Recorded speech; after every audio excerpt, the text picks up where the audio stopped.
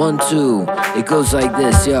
There was once a yogi, a young true seeker, devotee of his guru, loved by his teacher. One day the teacher said to all who were gathered, The truth is in everything, proclaimed the master. Once you clear the mind, then you will see God shines in everything, as everything. When the yogi heard this, he became drunk, intoxicated on the bliss, seeing God in everyone. As he wandered from the ashram inside his head, he could hear the voice of his teacher and the words he said. As he wandered through the jungle, a man exclaimed, There's a wild elephant on the rampage. The yogi smiled and said, Don't worry, my friend. My guru told me God shines in everything. As he wandered down the road, more voices began. Oh, yogi, don't you know disaster's at hand? The yogi said, Don't worry, my guru, he told me God shines in everything, as everything. The yogi continued on the path like a fool, chanting the words that he heard spoken by his guru.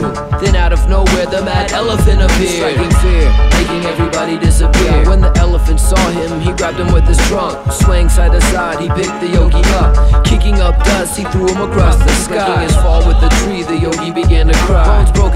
Deeper, his ego was bruised. Slowly, yogi crawled back to find his guru. Entering the ashram, he said, Guruji, you told me God is in everything, as everything. But in the jungle, an elephant trampled me, threw me around, smashed me, and thrashed me. The guru said, Didn't anyone inform you along the path? Did they stop to warn you? The yogi said, Yes, indeed, they did, Guruji. The teacher said, God is in them too, you see. God is in everything, only love is real. But you still gotta learn how to navigate the field.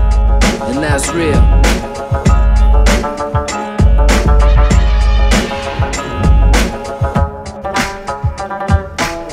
True seeker, student of the teacher, a follower of truth.